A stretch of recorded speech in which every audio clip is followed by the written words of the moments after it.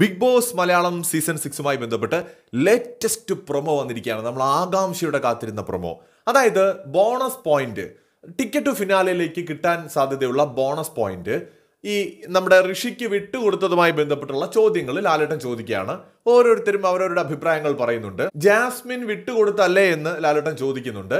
അതുപോലെ തന്നെ അർജുനും അവസാനം വിട്ടുകൊടുത്തു. ആരും തങ്ങൾക്ക് വേണമെന്ന് പറഞ്ഞ ഒരു പരിധി കൂടുതൽ പിന്നെ തർക്കിച്ചിട്ടില്ല. എന്ന് വെച്ചാൽ അഭിഷേകിനെ കിട്ടാതിരുന്നാൽ മതി.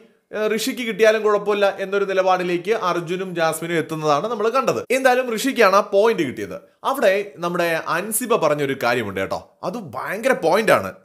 ചില സമയത്ത് വിട്ടുകൊടുക്കലും ഒരു വിജയമാണ്. ആ വിജയം കിട്ടുകയാണെങ്കിൽ അത് വോട്ടുകളായി വരുമെന്നാണ് ജാസ്മിൻ വിചാരിച്ചത്. അതുകൊണ്ടാണ് ജാസ്മിൻ വിട്ടുകൊടുത്തത് എന്ന് അൻസിബ വളരെ കൃത്യമായിട്ട് പോയിന്റ് ഔട്ട് ചെയ്യുന്നുണ്ട്.